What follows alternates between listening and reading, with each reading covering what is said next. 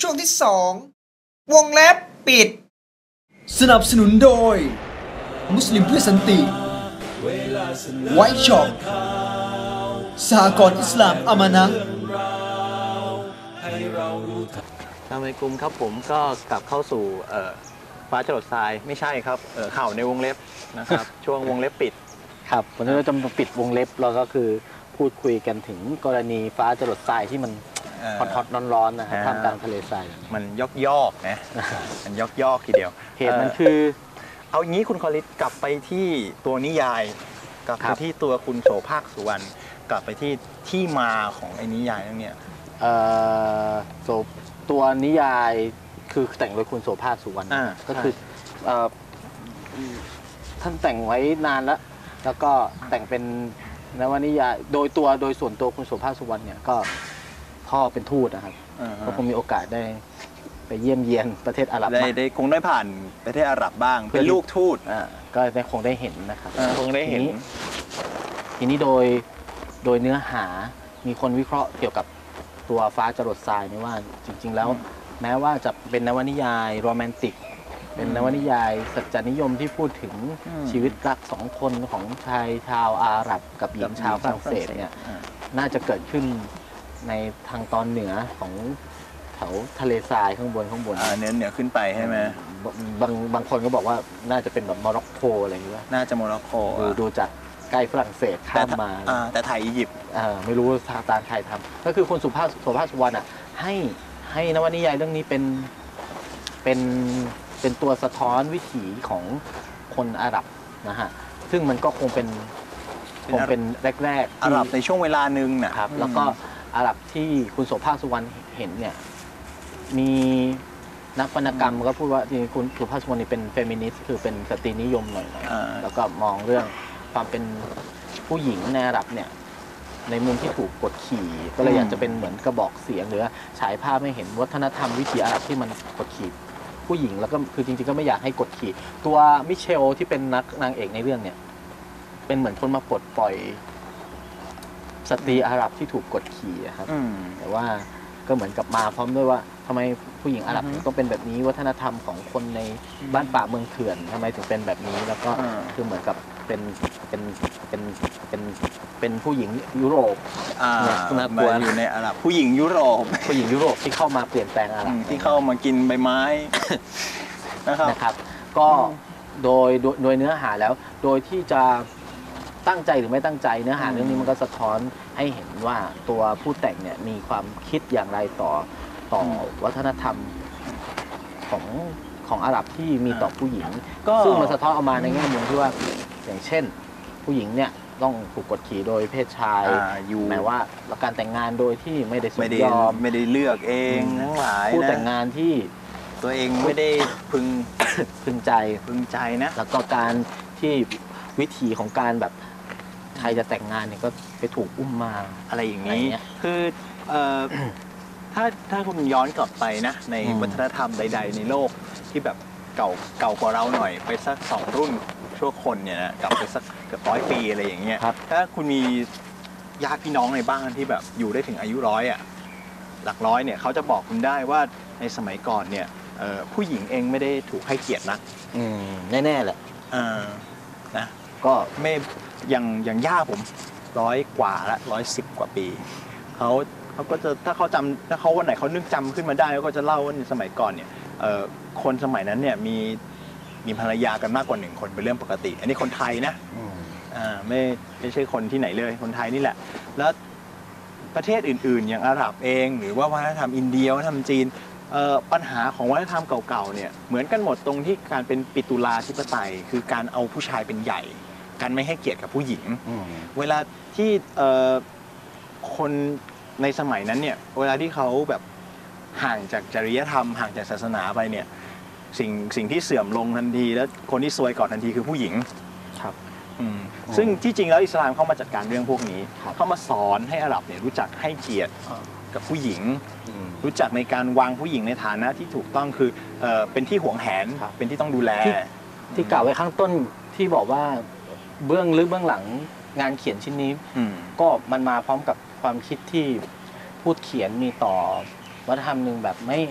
เอ่อมีอคตินิดหน่อย ไม่หน่อยบางทีก็เยอะหมือนนก็เลยก็เลยให้ให้ให้ให้งานให้ไอ้นี่ให้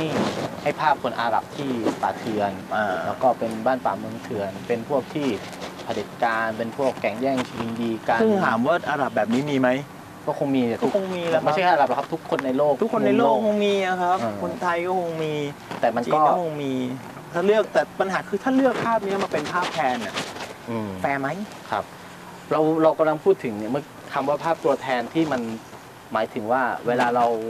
เห็นคนไทย อืม เวลาเราเห็นคนต่างประเทศประเทศต่างๆ เราจะมีภาพจำหรือเราจะมีวลีที่เราจะนึกออกว่า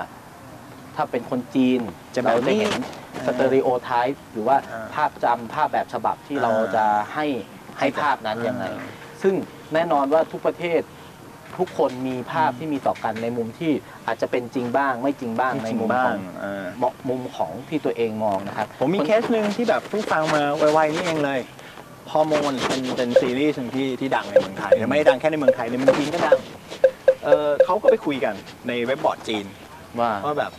คนในเด็กๆในเรื่องเนี้ยดูรวยๆเนาะอืม เขามีบ้านอยู่กันทุกคนเลย อืม คนจีนคิดเรื่องบ้านก่อน อืมเพราะว่าการการมีบ้านในประเทศจีนเป็นเรื่องยากมากคนอยู่อพาร์ตเมนต์ อ่าทุกคนอยู่อพาร์ตเมนต์อพาร์ตเมนต์ก็ไม่ใช่ถูก อืมการการซื้ออสังหาริมทรัพย์ไม่มีซื้อขาดครับในจีนมีแต่เช่าจากรัฐบาล ถึงเวลาหนึ่งก็ต้องคืน ไม่มีครับที่ที่ดินที่ส่งต่อให้ลูกหลานอะไรเงี้ยเขารู้สึกว่าคนมีบ้านเนี่ยรวย อืม แล้วพอพูดกันเรื่องรวยปั๊บพูดไปพูดมา ก็เริ่มมีคนมาบอกว่าเนี่ยคนจริงๆคนไทยไม่รวยมากหรอกอืม คนไทยเนี่ยจริง ๆ แล้วก็ก็จนๆนะส่วนใหญ่ อืม แล้วก็บางคนเนี่ยก็เอ่อต้องต้องขายลูกให้ไปเป็นกระเทยเพื่อจะได้เอ่อเลี้ยงดูตัวเองอะไรอย่างเงี้ยคือมายังไง เรื่องเรื่องเหล่านี้ที่เกี่ยวกับประเทศไทย เออก็คือ เราก็ถามมานะ ถามว่ามายังไงเนี่ยเออก็คงจะเป็นเพราะว่าเราอาจจะพาทัวร์จีนไปดูอาคาซ่าบ่อยไปหน่อย ก็เป็นแบบนั้น แล้วก็สร้างเขภาพจำแบบนั้นเออว่าคนไทยเนี่ยจะต้องมีกระเทยและกระเทยไทยต้องเป็นกระเทยสู้ชีวิตอืมอะไรอย่างนี้ แล้วไปผูกกับค่านิยมเก่าของเขาที่เออเวลาบ้านจนๆก็ต้องขายลูกเป็นขันทีอืมผลกันนัวเลยครับครับ ก็กลายเป็นการเอาภาพตัวแทนไปเออนะถามคนไทยเองก็มีภาพ ภาพที่อยากจะเสนอให้คนเราเคยพูดไปแล้วในหัวสยามเนาะอ่แต่จริงๆแล้วเราก็มีภาพภาพตัวแทนที่ฝรั่งมองเราอย่างเช่นเออคนไทยยังขี่ช้างไปเรียนหรือเปล่าอะไรอย่างนี้คือมันถามว่าการที่คนจีนบอกว่าคนไทยเอาลูกไปขายเป็นกระเทยแฟร์ไหมอืมก็ไม่แฟร์อืมเหมือนกันในกรณีนี้เราเราเรานวนิยายหรือว่างานสร้างสรรค์ที่เป็นงานสื่อที่มันกำลังใช้ฉากหลังที่มันไม่ใช่อืมสิ่งที่เรารู้จักเนี่ยเออมักจะต้อง ศึกษาแล้วก็ทำความเข้าใจอย่างอืมค่อนข้างดี เพราะเนื่องจากไม่งั้นเราจะให้ภาพสิ่งงานที่เราออกมาเนี่ยเป็นภาพตัวแทนที่บางทีมันภาพแปลงไปจากชีวิตจริง ๆ ของเขาเนาะเราให้ภาพพม่าแบบหนึ่งเราก็จะให้ตัวละครพม่าแบบหนึ่งหรือแม้หรือแม้กระทั่งว่าเรามีภาพลักษณ์เกี่ยวกับคนอีสานแบบหนึ่งอ่าเราก็จะให้ภาพลักษณ์กับคนอีสานเป็นอะไรบ้างคนอีสานตลกเป็นคนโง่ซื่อไม่ทันถูกหลเขาอกถูกหลอเป็นกตัวตลก ตัวตลกในละครในหนังทั้งหลาย ภาพของคนเหนือก็จะเป็นผู้หญิงที่ถูกสวยแต่ว่าถูกหลอกถูกหลอกไปขายอืมอ่อนหวานอ่อนหวานต้องกลางร่มต้องเนิบใช่คนใต้ก็จะกลายเป็นคนโหดมือปืนอืมคนโดยเฉพาะแม้กระทั่งภาพภาพตัวแทนมุสลิมอืมไทยในภาพลักษณ์ของอืมคนในประเทศ ก็จะมองว่าคนเหล่านี้น่ากลัวอ่าแบ่งแยกดินแดนอะไรอีกอ่าโหดอืม เนาะเผาโรงเรียนอะไรอย่างเงี้ยอ่าที่เป็นเป็นเนื้อเรื่องอืมเป็นเรื่องที่ตามมาสพร้างร้อมกับเส้นตัวเรื่องตนขึ้นของมาคนใดคนหนึ่งอ่ากับอัตลักษณ์ของอัตลักษณ์ใดอัตลักษณ์หนึ่งเนาะแล้วถ้าเขาบอกว่าเอ่อนี่เป็นสื่อเพื่อการบันเทิงเท่านั้นล่ะ ก็อย่าลืมว่างานบันเทิงทุกงานบันเทิงอะมันมันส่งผลต่อทัศนคตินะโดยที่คนเราไม่ได้เสพงานละครหรือว่าในเพียงเพียงแค่บันเทิงหรือว่า มันเรารับรู้ว่านี่คือความจริง เนาะแล้วเราก็กำลังบอกว่าเรากำลังฉายภาพความจริงในในสังคมอะ อ่าคือเวลาเวลาทำละครจริงมากก็บอกว่าเอ่อสะท้อนสังคม อืม เวลาถูกถูกว่าว่าไม่จริงก็บอกว่าทำเพื่อมับันนไม่เทิงใช่ละครตกลงเอออะมันไรเป็นแค่ละครไม่ใช่เรื่องจริง เออตกตกลงจะจะรับผิดหรือรับชอบไหม ก็มันนั่นแหละครับคือละครมันมีมันมัน มีศักยภาพหลายอย่าง อ่า ที่จะนำคนไปทั้งเชื่อทั้งเปลี่ยนแปลงตัวมัน มันมีเป็นดาบสองคมอะครับ คือสื่อภาพวิ่งเป็นสื่อที่มีความจูงใจสูง โดยอืมธรรมชาติของมันอยู่แล้ว ภาพยนตร์เอ่อหนังละครทั้งหลายที่เป็นภาพวิ่งเนี่ยเอ่อดีไม่ดีจูงใจกว่าละครเวทีที่เล่นดูสดๆอีกอืม เอ่ออันหนึงที่ที่เล่าเรื่องนี้ได้ชัดก็คือเอ่อครั้งแรกของโลกที่มีการฉายภาพยนตร์ให้ดูในวงกว้างมีคนอืม เยอะๆ คือการเอาฟุตเตจเอาภาพยนตร์ที่ถ่ายโดยเอ่อสองพี่น้องลูมิแยร์ เป็นเป็นเป็นผู้ที่ได้ชื่อว่าเป็นบิดาของภาพยนตร์นะฮะคิดค้นกล้องถ่ายภาพยนตร์ที่ใช้กันอยู่ทุกวันนี้เอ่อที่ที่เป็นรากของมันนะนะเขาเอาฟุตเตจที่ไปถ่ายมาจากสถานีรถไฟฟ้านะฮะไม่รถไฟครับ อ๋อ ตอนนั้นไม่มีรถไฟฟ้าสถานีรถไฟนะฮะ เป็นรถไฟกำลังวิ่งเข้าเทียบที่ชานชาลา ฉายขึ้นไปบนกำแพงของร้านกาแฟแห่งหนึ่ง คนที่ดูอยู่เนี่ยไม่มีเสียงนะเป็นขาวดำด้วยอืมคนที่ดูอยู่พอรถไฟเข้ามาตกใจวิ่งหนีนึกว่าเป็นรถไฟ รถไฟวิ่งเข้ามาชนจริงๆคือมันเสียวอะอืมนี่คือตัวเขาเรียกอะไรตัวคุณลักษณ์คุณสมบัติที่มันมีต่อบุคคลอ่าสื่อภาพวิ่งเป็นเป็นแบบนี้มาตั้งแต่กำเนิดของแต่ยุคมันี้มันก็คนเราก็ชินแล้วล่ะ แต่มันก็มีเออมิติที่มันเหลื่อมซ้อนทับกันอ่าเราเราจะรู้สึกจริงรู้สึกอินไปกับมันมากกว่าสื่อประเภทอื่น ๆอืมอยู่แล้วอะนะครับ เราไม่สามารถจะ ลุกออกมาจากละครลุกออกมาจากหนังที่แบบเราเพิ่งผ่านตาเราไปเนี่ย โดยที่ไม่รับอะไรกลับมาเลยเนี่ยอืมมันมันยากมากถึงถึงเป็นไปไม่ได้เลยครับเราจะได้ค่านิยมได้ความชุดความเชื่อบางอย่างมา ซึ่งเอ่อถ้าถ้าเราถ้าเรามีชุดความเชื่อที่ต้านกับมันอยู่แล้ว เราก็จะไม่ไม่รู้สึกเชื่อ แต่ถ้าเราแบบโล่งๆอะสมมุติว่าเรารู้อยู่แล้วว่าคนบินไม่ได้อะไรอย่างเงี้ยอืมเราเห็นคนบินได้ในทีวีเราจะไม่รู้สึกอะไร แต่ถ้าเราไม่แน่ใจอืม เราอาจจะไปลองดูนั่นแหละครับอ่าเอ่อไอการให้ที่เราพูดกันถึงเรื่องภาคตัวแทนเนี่ยมันเป็นเหมือนดาบเนาะหรือว่ามันก็เป็นอืม เหมือนบางอย่างเรากำลังลงดาบอะไรในฟ้าโจรดทรายกำลังให้ดาบได้คมอะไรกับคนคนอาหรับนะครับ มันก็เป็นเขาเรียกว่าอะไรมันเป็นภาพภาพที่ภาพแต่งมาจากความจริงอ่า แน่แน่นอนว่ามันไม่ได้มีคนอาหรับทุกคนที่อยู่ในศีลธรรม หรือว่าไม่ได้มีคนทุกคนในสังคมอยู่ในศีลธรรมมันไม่มีสังคมไหนที่คนอยู่ในศีลธรรมกันร้อยเปอร์เซ็นต์แต่เรื่องนี้มันมันมีประเด็นก็ตรงที่ว่าเอ่อละครมันไปเกี่ยวเนื่องเชื่อมโยงกับตัวตัวความเชื่อทางศาสนาก็คือตัวอีกตัวศาสนาอิสลามที่มันเป็นเหมือนบริบทฉากหลังในในละครเรื่องนี้บริบทของเรื่องนี้ก็คือ สิ่งแวดล้อมที่ที่สังคมเรื่องนี้อยู่อ่ามัมันเป็นสังคมอาหรับอาหรับ ที่เป็นมุสลิมมุสลิมซึ่งเอ่อผมฟังบทสัมภาษณ์ของทีมผู้สร้างหลาย ๆ ครั้งที่ออกมาให้ข่าว คือเห็นใจอะคือทำมานานคือวางโครงการมาเป็น 10 ปี อืม ถ่ายแล้วก็ติดสงครามติดอย่างนั้นอย่างนี้จนเอ่อออกมาได้ฉายเนี่ย แล้วก็ยังจะมาโดนเรื่องนี้อีกครับ อะไรเงี้ยคนเห็นใจเขาเยอะ ซึ่งครึ่งหนึ่งผมก็เห็นใจแต่ครึ่งหนึ่งก็อยากถามว่าแล้วทำไมไม่มาคุยกันตั้งแต่แรก อืม เขาบอกว่าเขาส่งให้เอ่ออะไรนะกระทรวงวัฒนธรรมอียิปต์ก็ส่งตอนที่เรื่องมันเป็นเรื่องเนี่ย อ่าส่งส่งแล้วก็เพิ่งเอ่อมาได้รับคำแนะนำจากจุฬาราชมนตรี ก็ตอนที่เรื่องมันแดงมา มันเสร็จไปแล้วมันเจ็บไปแล้วคือเออของอย่างนี้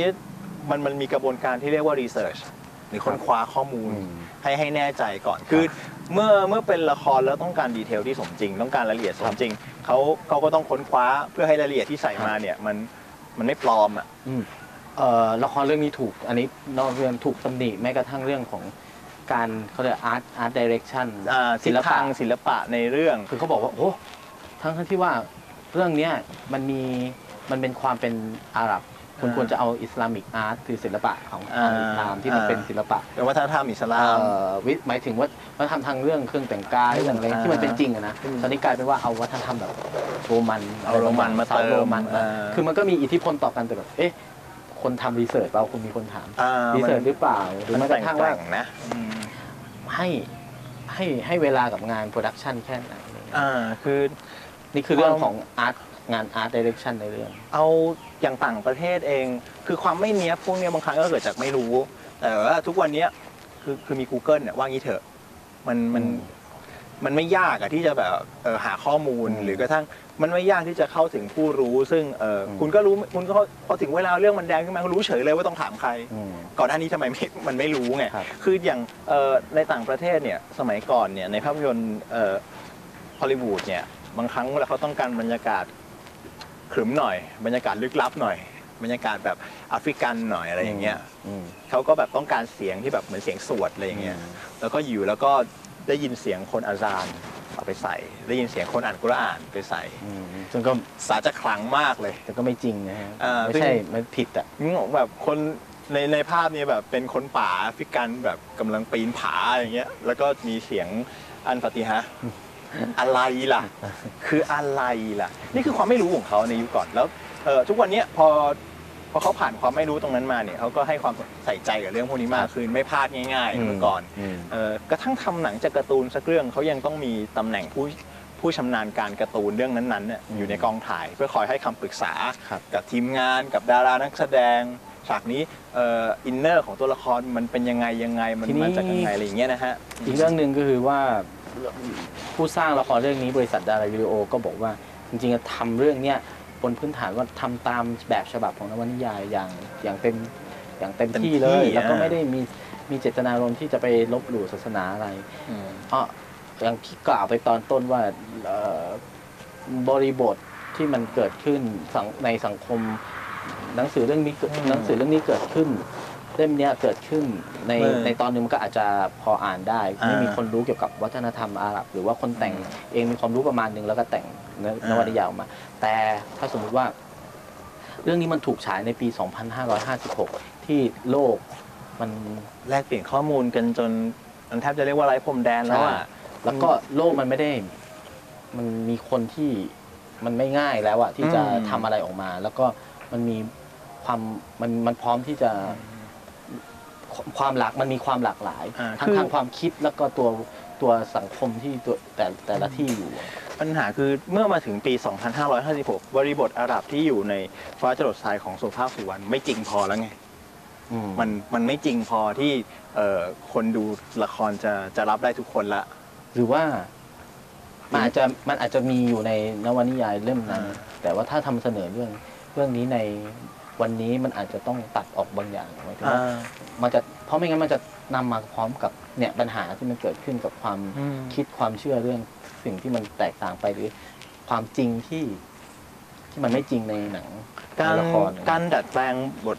บทละครที่ไม่ใช่เป็นบทละครดั้งเดิมเนี่ยไอของที่แบบเคยเป็นนิยายเป็นเป็นการ์ตูนเป็นอะไรมาก่อนเนี่ยอืมแล้วเอามาทำเป็นภาพวิ่งเนี่ย มันมันก็ต้องการการต้องการทรีทเมนต์ต้องการดูแลครับให้ให้แบบ มันออกมาแล้วไม่ช้ำอะ ครับอะไรที่มันเป็นเป็นความไม่จริงเนี่ยมันก็ต้องถอนออกไปบ้างครับ ทำให้มันดูจริงจังขึ้นมาจริงอะไรอจังย่างแม้เงี้ยกระทั่งประเด็นที่มันสุ่มเสี่ยงอะครับ อ่าฮะ ผู้ผู้ผู้ผู้นำเสนอผู้สร้างสรรค์ก็ย่อมต้องมองให้ออกว่าละครเรื่องนี้มาอยู่ในบริบทที่มีคนมีความแตกต่างแล้วนั้น อืมอะไรก็ตามที่มันจะไปทำให้ มีความระคายเคืองต่อจิตใจของใครอืมแม้กระทั่งคนเล็กคนน้อยในสังคม เราไม่ได้บอกว่าเฉพาะมุสลิมนะครับ ทุกงานที่ออกมาในแง่ในแง่มุมที่มันจะไปเกี่ยวพันอยู่กับอ่าการเล่าเรื่องคนอื่นอ่าการเล่าเรื่องที่มันจะเสนอภาพตัวแทนที่ไม่จริง การเล่าเรื่องเอ่อประเด็นที่มันอาจจะสุ่มเสี่ยงต่อความเข้าใจผิด ก็ควรจะละไว้เพื่อที่จะนำเพื่อที่ไม่ให้เกิดความผิดพลาดมันอ่าถ้าถ้าจะบันเทิงแล้วจะต้องขุนเคืองใจกัน คงไม่บันเทิงเท่าไหร่ครับ นี่ก็คือเป็นสิ่งที่เราอยาก ชวนพูดคุยในวันนี้นะครับ แล้วก็เป็นสิ่งที่ลึกๆแล้วเราก็อยากให้งานอะไรก็ตามที่มันเราไม่ได้อยากออกมาทะทะเลาะวิวาทกับใครแล้วนะครับอ่าหมายถึไม่งว่าไม่รู้จะทะเลาะอยกทำไมไม่อะฮะใครบนโลกนี้ก็ไม่อยากที่จะมาตีกันด้วยอยากประเด็นอะไรทะพวเลาะกนี้อยู่แล้ว ใช่ใช่ ดังนั้นก็ด้วยปรารถนาดีจิตใจดีเราก็ฝากไปถึงคนที่จะทำงานเกี่ยวกับด้านเอ่อสื่อสังคมที่มันจะเสนอภาพใครภาพตัวภาพตัวแทนใดตัวแทนหนึ่งที่มันไม่จริงก็ให้มันให้มันจริงขึ้น คือก็ศึกษาหน่อยถามถามเขาหน่อย ครับ ต้องให้ถ่องแท้นิดนึงกับมันนิดนึงเพื่อที่จะให้แฟร์กับทุกคนแล้วก็ให้แฟร์กับตัวคุณเอง ให้ครับคุณได้ภูมิใจกับมันได้เต็มที่ ก็จะเป็นงานที่ออกมาอย่างมีคุณภาพนะครับอ่าแล้วก็ทั้งหมดนี้ก็คือข่าวในวงเล็บในวันนี้นะครับ ที่เราชวนคุยกันนะครับ ก็สัปดาห์หน้าก็ เจอกับเราได้ใหม่นะครับอินชาอัลลอฮ์อ่าอินชาอัลลอฮ์ยังอยู่กันที่เขาเขียวนะครับครับแล้วก็เป็นเรื่องอะไรก็คงต้องติดตามกัน อ่าผมวันนี้ขอบคุณสวนสัตว์เปิดเขาเขาเขีเขียยววจังหวัดชนบุรีนะครับ นะครับที่ให้อูดเรามาเข้าฉากให้นะครับ อูดมาเข้าฉากสามตัวแล้วก็ เป็นอูดที่นิยมสินบนครับผม นะครับ ติดตามเราได้ใน w w w w h i t e n e w s i n t h นะครับ หรือแฟนเพจของเรานะครับ ข่าวในวงเล็บเข้ามาแสดงความคิดเห็นพูดคุยกับเราได้นะครับ รวมทั้ง ก็ติดตามเราได้ในย้อนหลังในอืมวันต่างๆ ของทางไวชแนลนะครับครับผมก็ก็สำหรับวันนี้ก็คงต้องลาไปก่อนนะครับ เจอกันครั้งหน้าครับวัสสลามุอะลัยกุมวะเราะห์มะตุลลอฮิวะบะเราะกาตุฮ์